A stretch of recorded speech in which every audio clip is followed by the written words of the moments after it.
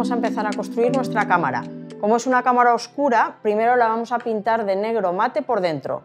Lola va a precintar todo el exterior para que al pintar no ensuciemos la cámara por fuera.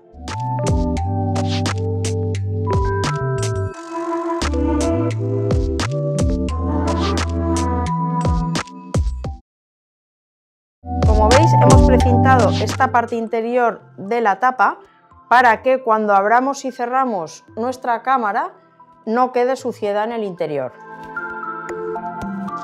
Ahora vamos a pintar la lata por dentro y damos una fina capa.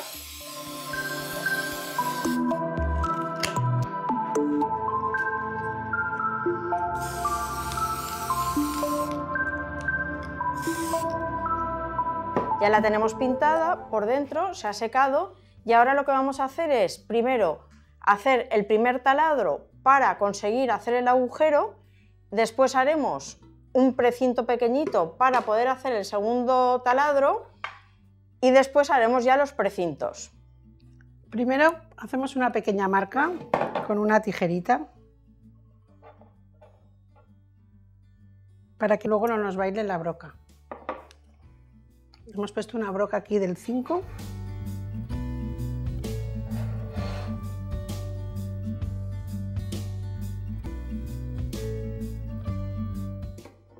ya tenemos nuestro agujero.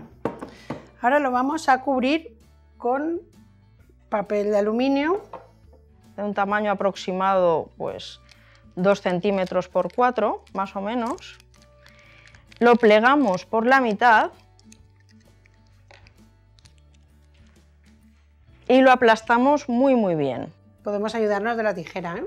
que quede muy bien unido nuestro papel. Ahora lo tendremos que pegar por dentro.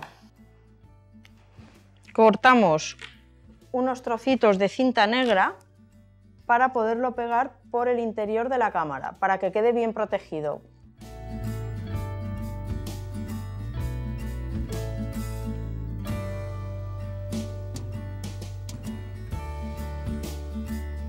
Ahora cogemos por nuestra aguja del 04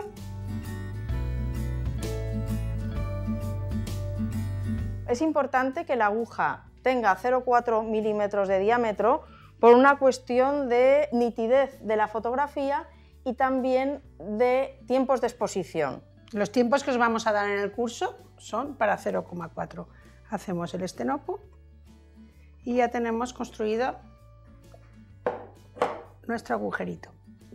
Ya tenemos hecho el agujero, ahora vamos a hacer el precinto. Para ello haremos un sándwich con estas dos cintas del tamaño del perímetro de nuestra lata. Es importante porque la cinta negra nos puede hacer que pase la luz y velar nuestro papel. Para eso nos hacemos un sándwich con la cinta de aluminio. Y también es mucho más resistente así es más resistente y podemos utilizar este precinto varias veces. ¿Ves? Cinta negra, cinta de aluminio, cinta negra. Le doblamos las esquinitas para poder precintar mejor. Y este sería nuestra pieza que va a obturar la cámara completamente para que no entre la luz. Nos faltaría ahora hacer el obturador para tapar el estenopo, para que cuando salgamos del laboratorio no entre nada de luz en nuestra cámara. Y el obturador lo preparamos igualmente con un trozo de cinta negra y un trozo de cinta plateada. La cinta plateada la ponemos para que la goma que suelta la cinta negra no nos obture el estenopo.